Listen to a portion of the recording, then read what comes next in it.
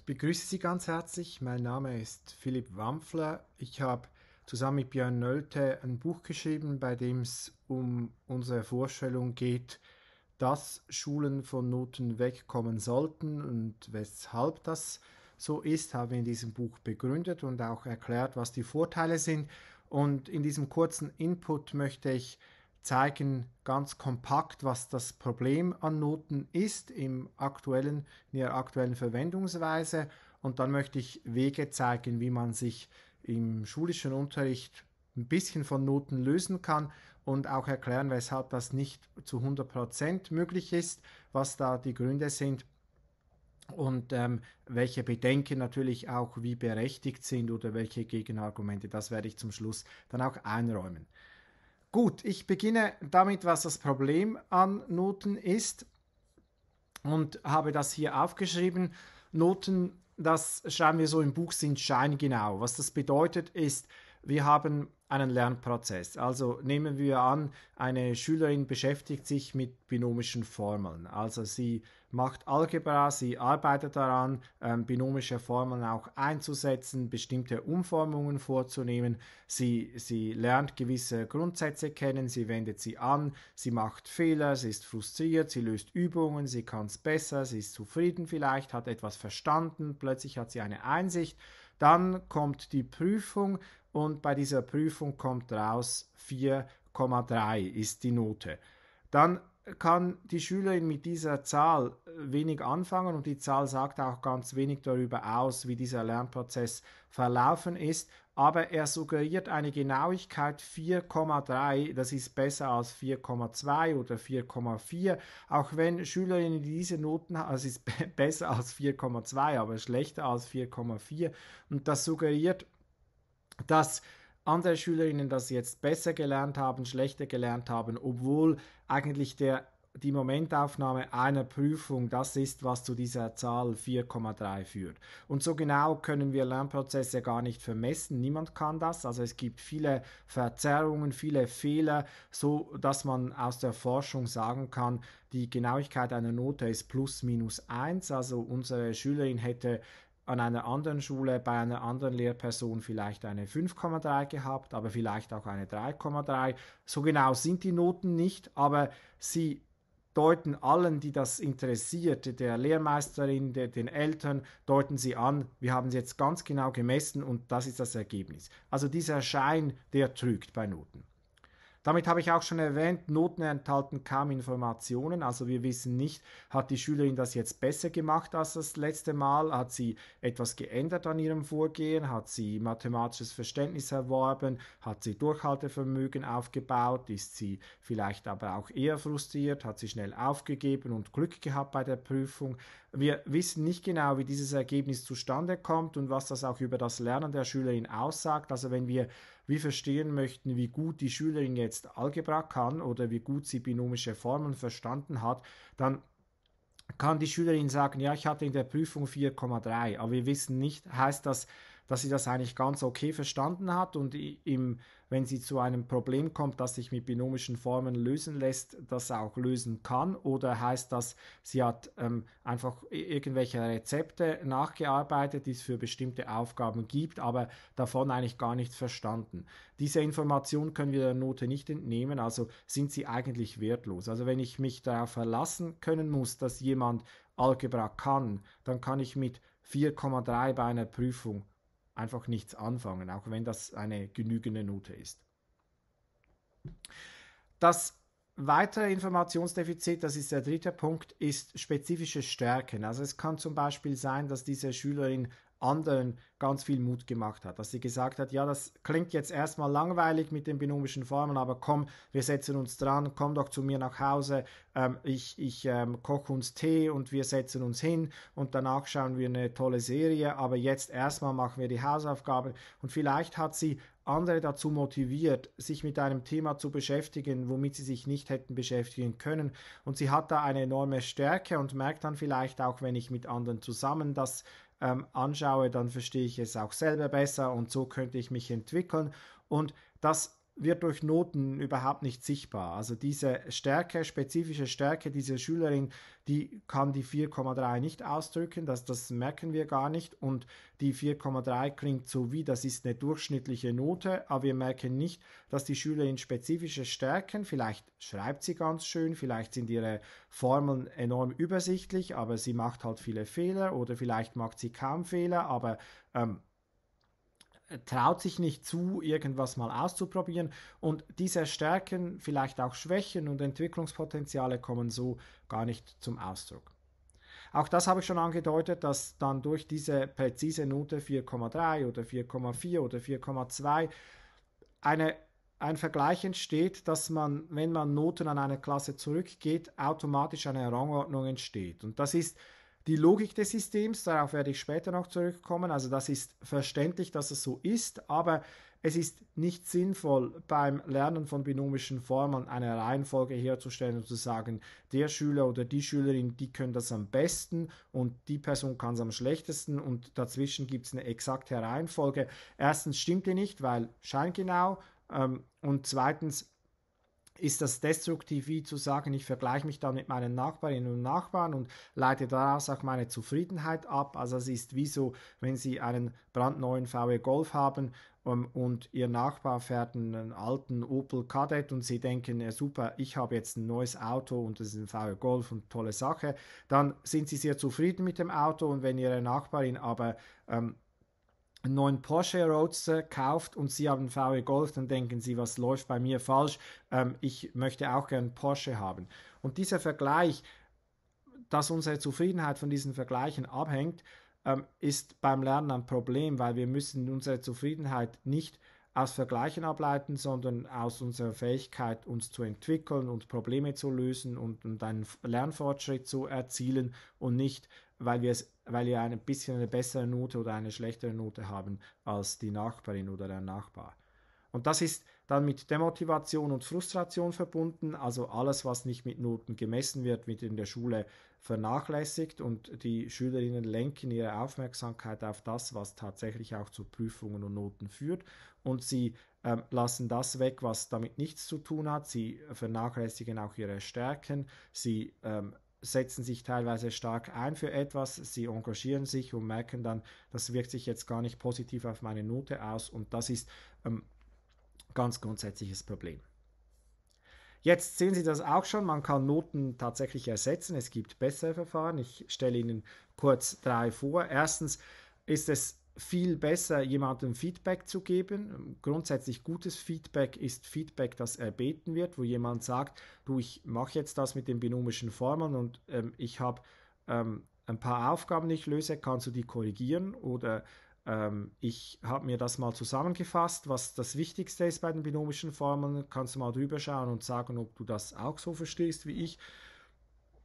Und das der Vorteil am Feedback, wenn man das jetzt vielleicht auch auf berufliche Prozesse bezieht, dann schauen, schaut Feedback in die Zukunft. Also man schaut, was kann ich in Bezug auf die nächsten Schritte besser machen, wo kann ich mich verändern, wie kann ich mich so verhalten, dass etwas Positives entstehen kann, während Noten in die Vergangenheit schauen und sagen, ich bewerte jetzt abschließend, wie das gelaufen ist, was du jetzt nicht mehr ändern kannst.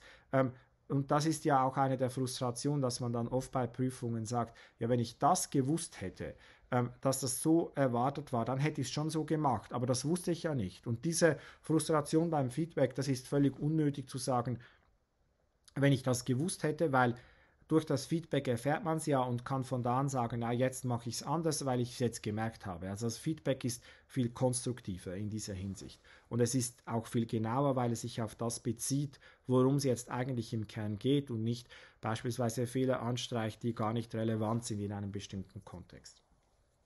Eine weitere viel bessere Möglichkeit, um mit Leistung umzugehen, also die Frage, wie man Noten ersetzen kann, das als Klammerbemerkung, hängt ja immer davon ab, in welchem Kontext. Und der Kontext hier ist, wenn es wirklich darum geht, dass Lernende ihr Lernen fokussierter und besser gestalten können. Also wie kann man ihnen eine Rückmeldung zu ihrem Lernen geben, mit der sie was anfangen können. In diesem Kontext kann man Noten durch die Prozesse ersetzen.